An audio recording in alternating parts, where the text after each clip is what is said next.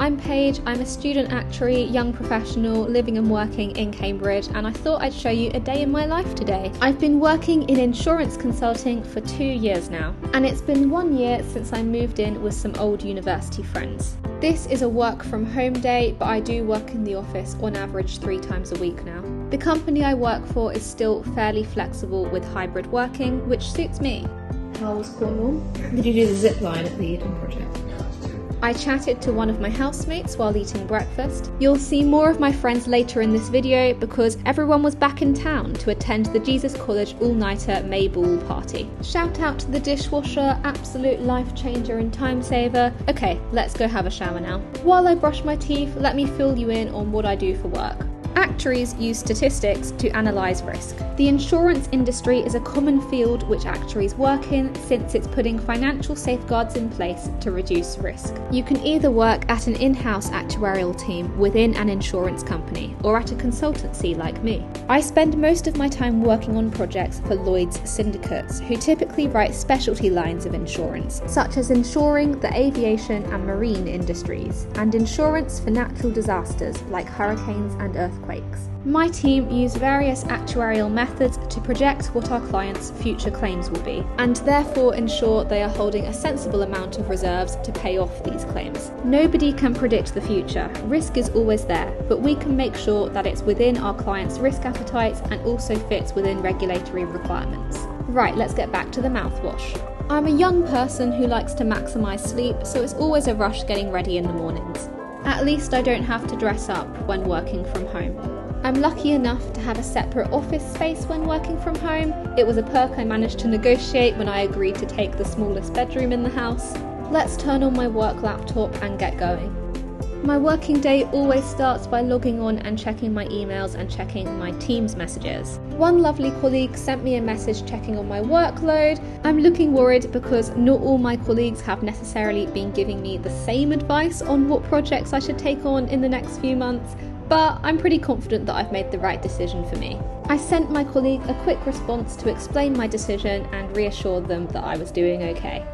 I permanently have a sticky note on my desktop which contains my to do list for the day. It never shrinks though, as I tick tasks off, new tasks always come in. First job is to email a colleague with an overview of the current data process for one of my projects and how I think this could be improved. They had kindly agreed to transform our process to make it more efficient, so I pointed them in the direction of what we had so far. Then I sent off a quick data query to one of our clients. We receive claims data from the client each quarter, which is split by class of business, underwriting year, and currency. After some initial checks, I realised that two of the received files did not reconcile The goal is to make my data query email clear but also polite. I genuinely find emailing clients so stressful. I double triple check for any typos and the recipient box so many times. I had 15 minutes or so free, so I quickly pulled together an instructions email for a junior colleague who I was delegating some work to later in the day. First Teams call of the day is a Cambridge team catch up. Hi Carly. Yeah, good. How are you? I thought the same. When I saw you started it, I was like, huh, are you going to the office tour thing tomorrow? This was more of a social catch up, which otherwise we'd miss out on when working from home. We have them in the diary every Monday, but they're not compulsory to join. The Cambridge team is really small, we're down to four consultants now, and so more close knit than other teams in the company. Then I hopped on a call with a junior colleague who I was delegating some work to. They were helping me pull together a draft of a 60 page report for a client, which summarised our claims projection assumptions for their classes of business. My colleague was new to the project, so had a few questions. Yeah, that's correct. Once they're hidden rows are all being written in 2022. The stage we're at is for half the classes we've delivered our curve and loss ratios. Just shout if you have any other questions. I always grab a coffee mid morning. I have my own caramel syrup at home and then I pop a decaf latte poured into my machine. Shout out to Buster the Border Terrier. This is my favourite mug for obvious reasons. Filled with coffee and biscuits, I jumped into my next task A client had provided us with some more details on their transactional liability class of business. The project lead who supervises me asked me to look into how this extra detail affected our assumption selection. I had a play in our reserving software, looking at different blends of benchmark claims data and calculating curve durations. I made notes of my findings to feed back to the project lead. I left my desk at around quarter to one because I needed to go buy some lunch from the shops.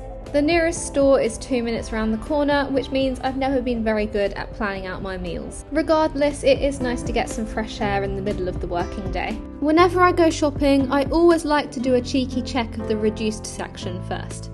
Bingo! Piri piri chicken for my sandwich.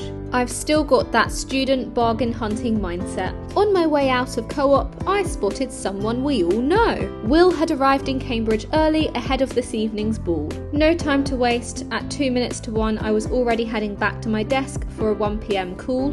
Had a little bit of a mishap with the door handle, probably should get that fixed. The next call was a long one, and my colleague asked me to screen share at the last minute. I guess so then. yeah, because we, we halved the impact, didn't we? The purpose of this call was to show the project lead, who is not involved in the day to day running of the project, what changes we've made to the assumption selections and justify them to him. For example, have we seen new trends in the historical data which we should reflect? They were particularly interested in the overall impact on the reserves. We don't want to make our changes too harsh or too light touch. Finally, at half two, I managed to escape my desk to eat some lunch and see my friends. I threw together a piri piri chicken sandwich with lettuce and chilled in the kitchen for a while. I always like to eat lunch away from my desk just to take a break from the screen. Someone call that a sad sandwich, I dare you. Mid afternoon, one of my colleagues who was performing a technical review of some of our project work dropped me a message to say they couldn't reconcile the claims data within our reserving software with the received file we got from the client. I double checked and agreed with them, and quickly realised that the graduate I had been instructing had misinterpreted my instructions and run an import twice by accident. I gave them a quick call to talk through where the error had happened and how we could fix it, and also had a catch up while we were at it. In the call before lunch, the project lead had requested we create a new summary file which would help us justify our initial expected loss ratio selections. A loss ratio is defined as the ratio of claims to premium. We choose one as a starting point for claims projections, it acts as a prior. After figuring out an approach for setting up this file, I gave my junior colleague a call and asked them if they could help me out. I was going on annual leave the next day, but our project lead had asked for the file to be ready for them as soon as possible. So in each reserving Q4 folder, there should be this attritional analysis file. And in the attritional analysis file, we do have a section there for initial expected loss ratios. Our 2020 Q4 review, what were the initial expected loss ratios that we were selecting for each underwriting year. But we also want to bring through what the ultimate loss ratios were looking like at those moments in time as well. And this on level factor, when multiplied by your unadjusted loss ratio, will give you the on leveled loss ratio, which is then comparable to your 2022 picks. So it's as if you're like taking out the impact of rate change and inflation. On this particular day, I cleared with my colleagues that I could log off at 4 o'clock. On a typical day, I work until at least 6 pm, sometimes until 7 pm, but today I needed to get ready for Mayball. This is the most hotly anticipated event of the year. My friends and I are alumni of Jesus College, Cambridge, and have been rolling forward our tickets for two years since COVID originally cancelled Mayball in 2020. It's a black tie event, so here I am doing my sparkly makeup as quickly as possible. Emma and Tim were organised as usual and managed to book us an Uber, whilst me and Ed were both running to get in before they went off without us. It was such a lovely summer's evening for it. Here's the queue outside of college down Jesus Lane. Queues are a part of the Mayball experience. We eventually made it to the sports pitches within college where the main queue was. We queued for around two hours total and finally got in and had a drink and some canapes. We entered the ball into a transformed chapel court. Any experienced Mayball attendee knows that you run for food first. So here are halloumi fries, followed by a waffle wand, and then I went for pizza, an arancini ball, and an Oreo milkshake. We strategically split up into queues for different different food stalls to maximise efficiency. After weaving through various courts, we made it onto the meadow, and just in case I hadn't eaten enough, I got myself a Nutella crepe. One hour in, and I did need a little sit down with a glass of water. I don't think I've ever gone so hard on the food before, but there were so many good options. By this stage in the evening, we had also bumped into so many familiar faces from our cohort at Jesus. It was crazy, I hadn't seen them since pre COVID lockdown. After recovering from my food coma, I got up and danced with friends at the first court music stage. Good tunes, good company, the party really kicked off when the sun went down. I was so taken aback by the number of times I was stopped during the night by people who have watched this YouTube channel. Everyone said such nice things and just thank you, thank you, thank you for saying hi. One thing about May Balls, it is very, very easy to lose people.